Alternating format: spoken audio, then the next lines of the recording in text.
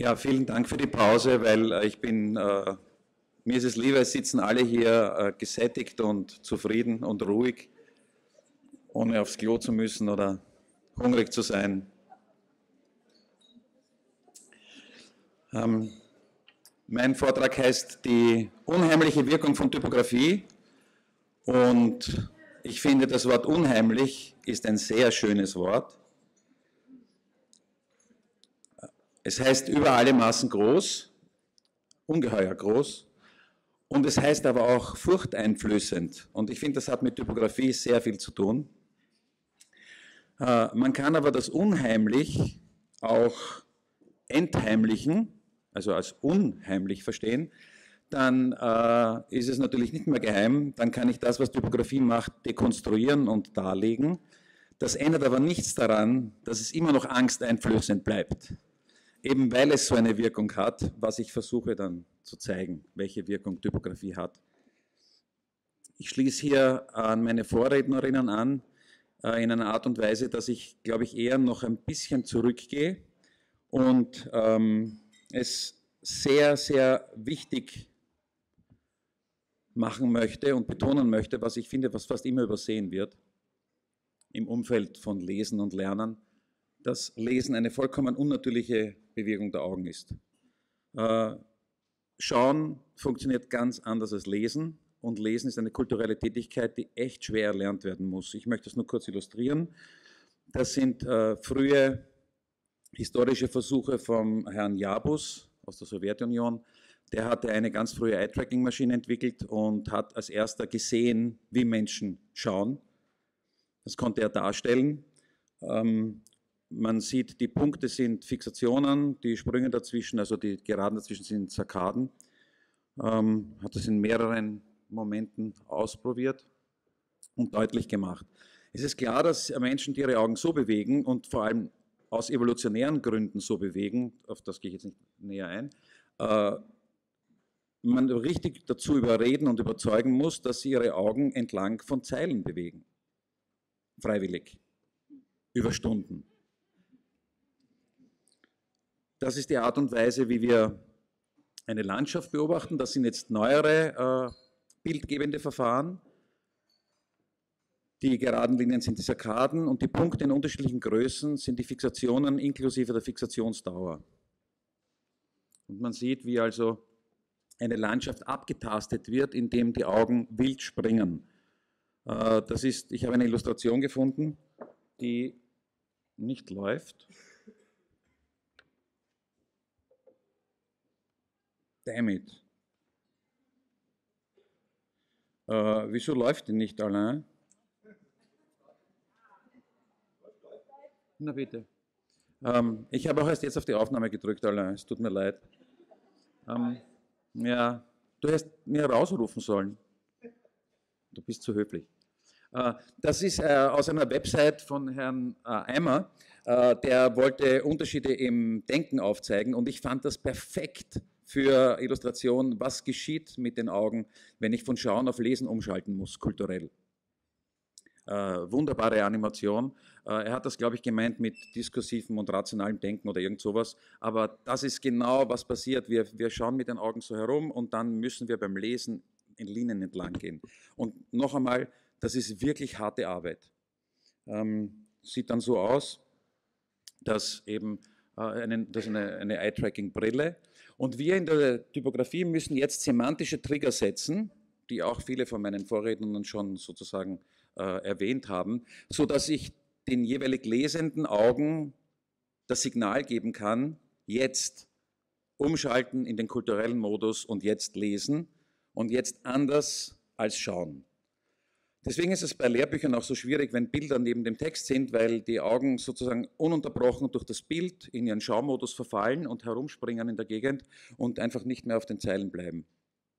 Und äh, gleichzeitig, wenn Sie das tun müssen, darf man nie vergessen, dass Lesen eine unglaublich äh, äh also komplexe Angelegenheit ist und vor allem in erster Linie eine körperliche Angelegenheit.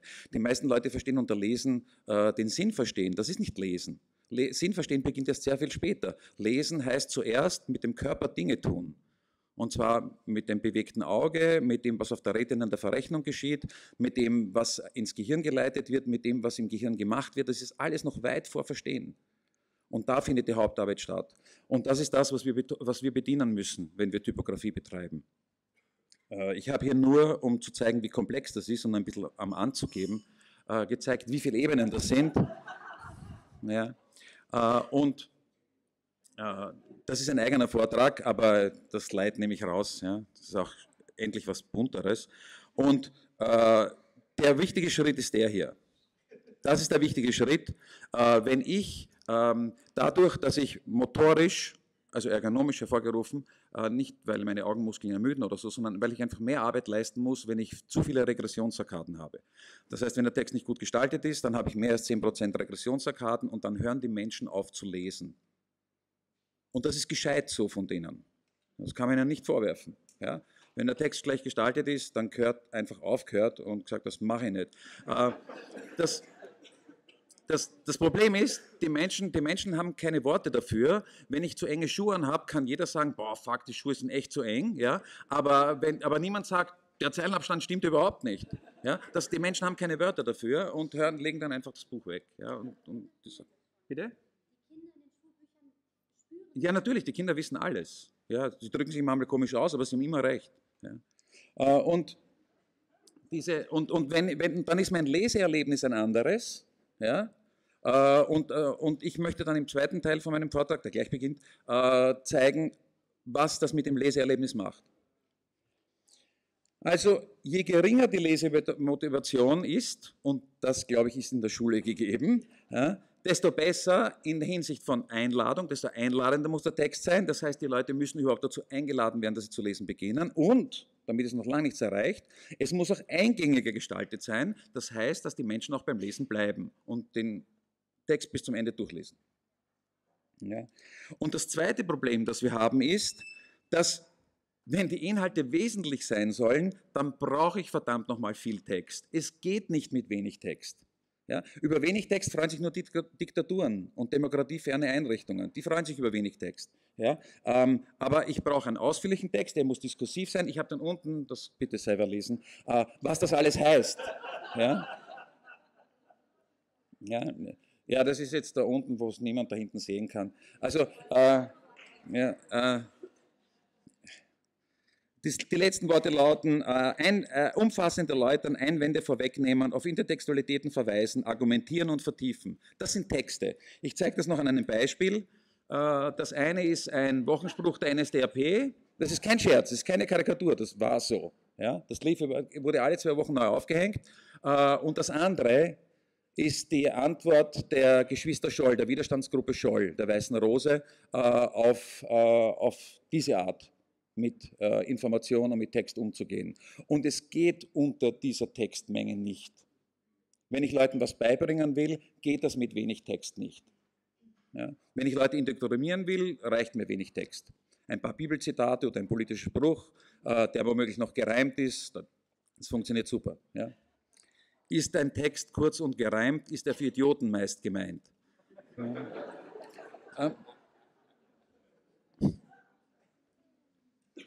ich habe noch kein Angebot von der FPÖ. Ähm, wir haben mit folgenden Problemen zu tun. Wir haben erstens vollkommen unnatürliche Bewegungsart der Augen, zweitens eine geringe Lesemotivation und drittens eine gebotene Textmenge. Das heißt, eine Textmenge, die sein muss. Auch das habe ich jetzt vorgelesen, das steht da unten. Ja. Ähm, äh, zusammenfassend, äh, je geringer die Lesemotivation, desto ökonomisch stimmiger muss der Text gestaltet sein. Stimmiger heißt, ich muss als Typografin den, den Text so gestalten nach allen Regeln der Kunst, äh, die man wahrscheinlich in ganz wenigen Dingen nicht zusammenfassen kann, aber vielleicht in einer dreijährigen Ausbildung. Das tut mir leid, es geht auch nicht drunter. Man kann tatsächlich Lehrerinnen drunter also hinweghelfen, ich habe auch schon Workshops für Lehrerinnen gegeben, das hilft wirklich, ja, äh, weil man ganz grobe Dinge ver vermeiden kann. Aber wenn ich ein Schulbuch gestalten möchte oder so, dann muss ich der Beste sein. ja, oder die beste, ja, weil die brauchen das wirklich, ja, abgesehen von Kinderbüchern und so. Wenn, Sie, wenn das jetzt super, ich kann mich erinnern, ich habe gelesen äh, Wilhelm Reich Raubpressungen, ja, oder die frühen Merwe-Bücher, ja, neue Philosophie und so. Das war alles grottig, aber das war mir egal, weil ich habe es lesen wollen. Hohe Lesemotivation, lese ich alles, ja. Aber mit Kindern und mit Jugendlichen darf ich das nicht machen. So simpel ist das. Ähm, ich habe das näher ausgeführt in der Publikation, das steht auch da unten, siehe Publikation, lesbar. Ja. Ähm, und das zweite eben, Lernen geschieht anhand von wesentlichen Textmengen und das kann eben nur gekonnte typografische äh, Gestaltung kann diesen Widerspruch lösen ja, zwischen dieser notwendigen Textmenge und, einem, und einer geringen bis eben nicht vorhandenen Lesemotivation. Ja. Ähm, also wir haben es mit zwei wesentlichen Aufgaben zu tun. Wir müssen erstens eine geeignete Schrift finden und zweitens die dann auch brauchbar in einem Layout anwenden. Und ich möchte jetzt zwei Versuche äh, vorstellen, die das illustrieren. Der erste Versuch, der sich mit der Schriftwahl beschäftigt, ist ein, äh, ein, ein, Experiment äh, aus dem Jahr 2008 von Song und Schwarz. Äh, das heißt, if, if it's hard to read, it's hard to do.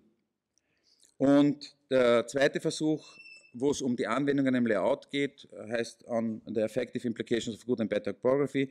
Den habe ich mir erlaubt durchzuführen. Und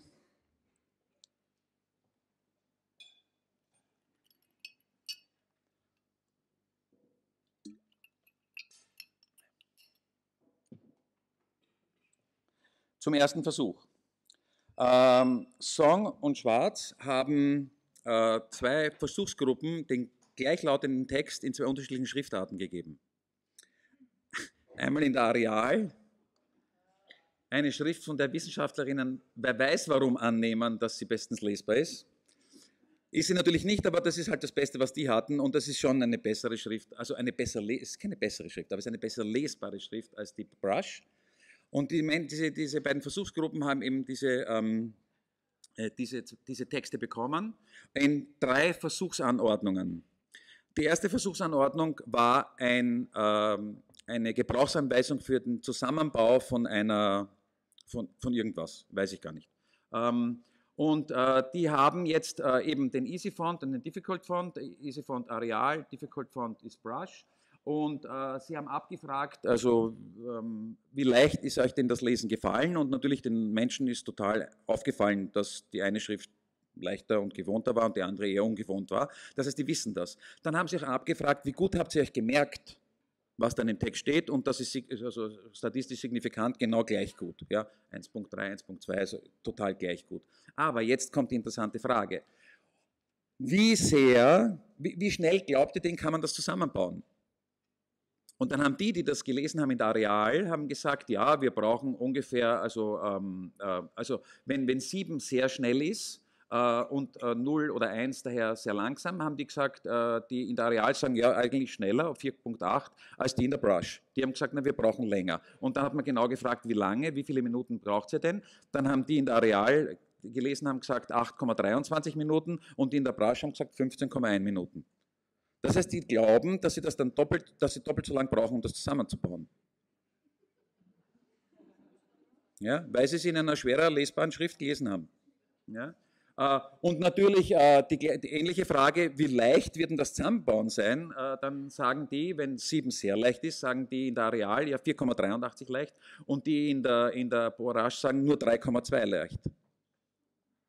Und dann die nächste logische Folge lautet, wie gern würden Sie denn das zusammenbauen? Ja? Und wenn 7 heißt, ja super gerne, dann bauen die, die in der Areal das um 4.5 gerne zusammen und die in der Brush um 2.9. Ja? Also das ist, das ist dramatisch. Das ist statistisch signifikant, deswegen haben auch die Wissenschaftlerinnen da lauter Sterndeln dazu gemacht.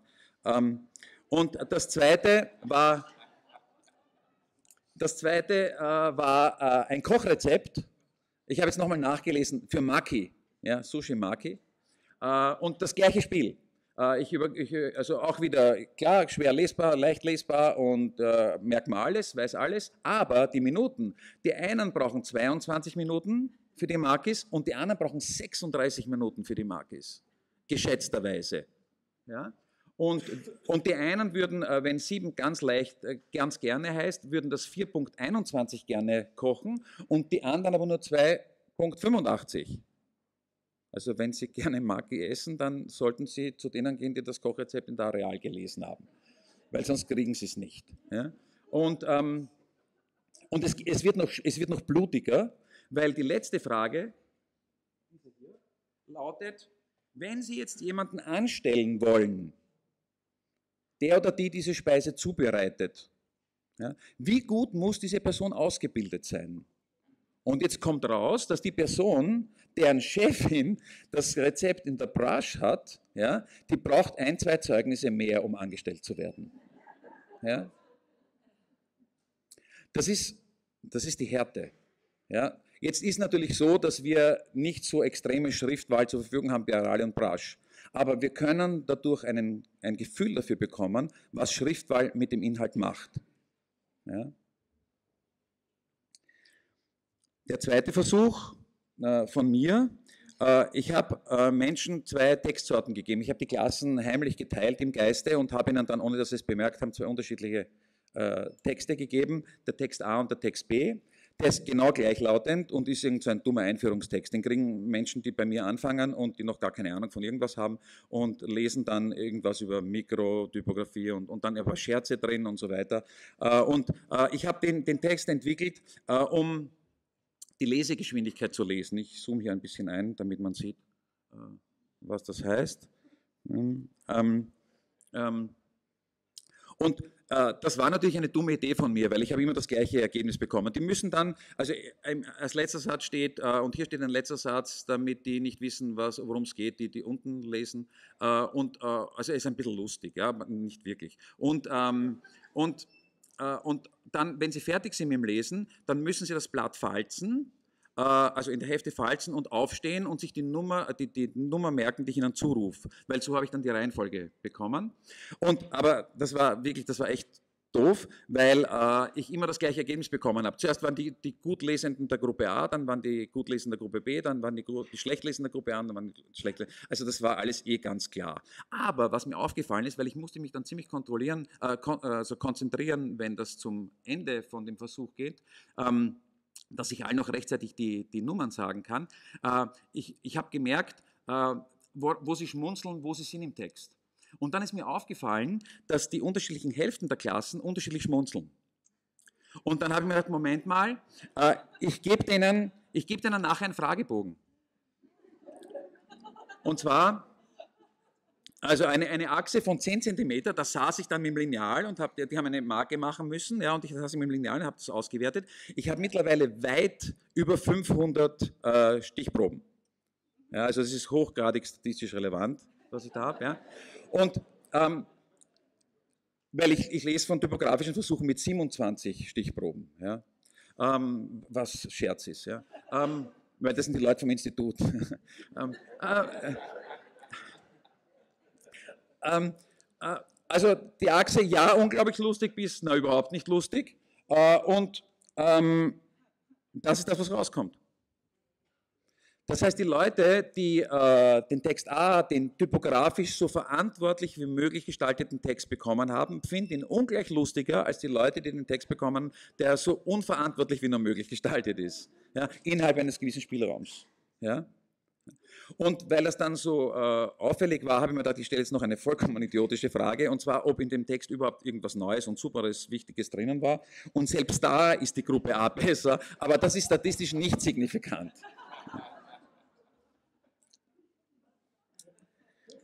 Ja, das äh, waren zwei Versuche, die die, die, die, die, die Wirkung von der Schriftwahl und die Wirkung von der Gestaltung sozusagen äh, erläutern. Äh, und diese unheimliche Wirkung der Typografie sagt, die Wahl unserer Schrift verändert den Inhalt. Das ist nicht einfach nur eine ästhetische Wahl, sondern sie verändert den Inhalt. Und die Gestaltung mit Schrift verändert auch den Inhalt. Ja? Und um ein Wortspiel zu bemühen, wenn ich einen Text in Form bringe, dann informiere ich den Text auch zufällig. Äh, zu, zu, nicht zufällig, ja zufällig, je nachdem, wie ich arbeite.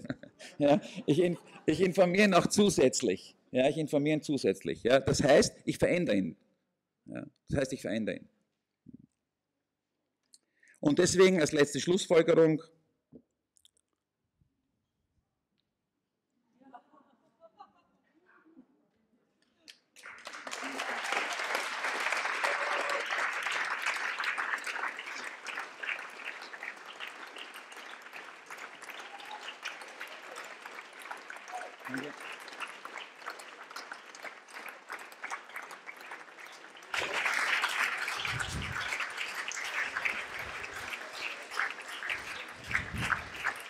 Und mein ganzes Bestreben geht dahin, also uns Munition in die Hand zu geben, ja, mit der wir argumentieren können, ja, worum es uns geht ja, und wo die, wo, die, wo die wesentlichen Punkte liegen. Ja. Also vielen Dank nochmal. Wer möchte gerne zu der Munition beitragen? Bleibt doch da.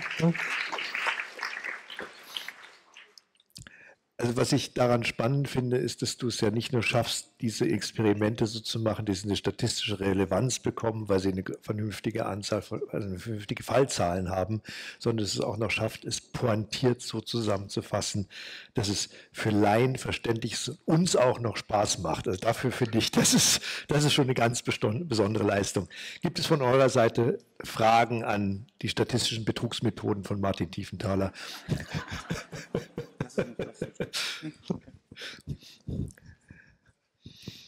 Wie willst du das eigentlich zukünftig machen im Zuge der DSGVO?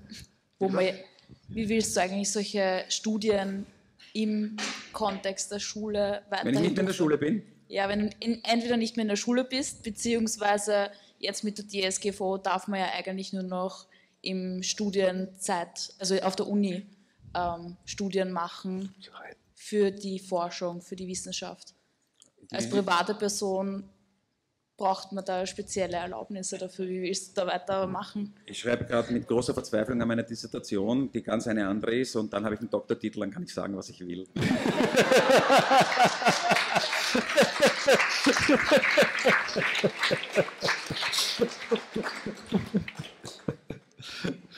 Noch weitere Fragen dazu? Ja.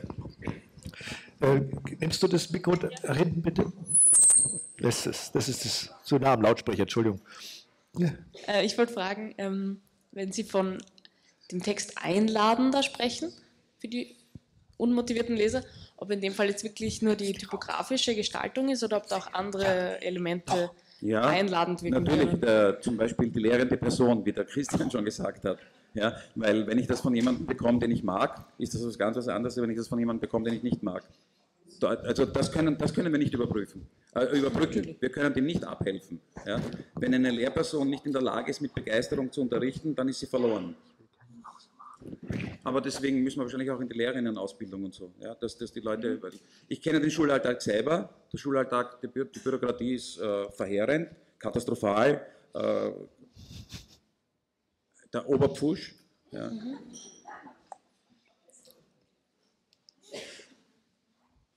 Wo ist mein Mikro? Vorsicht, nicht nur nah am Lautsprecher, bitte. Genau. Und, ah, sehr gut. Hervorragende Typografie. Das hat jetzt gar nicht so viel mit deinem Vortrag zu tun, Martin. Ich muss es fragen, weil mich das gerade beschäftigt. Warum schreibst du alles klein? Anheben. Anheben.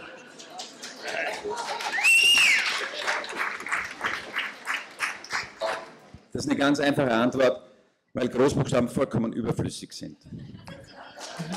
Ähm, noch einmal, ich, ich, ich, habe diese Diskussion dauernd und ich schreibe auch meine verdammte Dissertation über den Scheiß. Ähm, Großbuchstaben sind eigentlich für, für die Kleinbuchstaben fremd. Ja, es ist total schwierig, die typografisch zusammenzubringen. Ich hab, es ist eine ideologische Diskussion und keine ästhetische, das muss man ganz deutlich sagen. Ja, es ist eine rein ideologische Diskussion, äh, weil wenn äh, kleine Schreibung so schlecht zu lesen ist, dann können die Franzosen und die Engländer und die Italiener alle nicht gut lesen. Ja, das ist absurd. Wir brauchen die Großbuchstaben nicht. Ähm, aber natürlich ist es hübsch und man kann damit schön gestalten und alles. Noch einmal, ich mag auch die Großbuchstaben, aber meine Sachen mache ich in Kleinbuchstaben. Können wir darüber die nächste Konferenz machen? Bitte? Können wir darüber die nächste Konferenz machen? Ich glaube, das ist, also ich bin ja da, äh, das hat mit den Brüdern Grimm begonnen, ja, die schon dagegen opponiert haben. Und äh, ich, ich glaube, ich bin nicht gewillt, eine Konferenz diesem ideologischen Thema zu widmen, ähm, weil, weil das verlorene Liebesmühe ist. Entweder die Leute verstehen es oder sie verstehen es nicht und wer es nicht versteht, soll halt weiter groß und klein schreiben. Ja, also, also ich mache ich mach, ich mach einen anderen Vorschlag, Martin. Wir haben ja bei der, wir haben bei der TGM ein wunderschönes Format, äh, wo es darum geht, die zwei extrem gegenseitige, äh, gegensätzliche Positionen zusammenzubringen, zum Beispiel russischen gegen polnischen Wodka. Äh, wir könnten, wir könnten dieses wunderbare Format nochmal zum Thema Groß- und Kleinschreibung machen. Das ist ungefähr die gleiche Diskussionsebene. Äh, wir schenken dazu Wodka aus.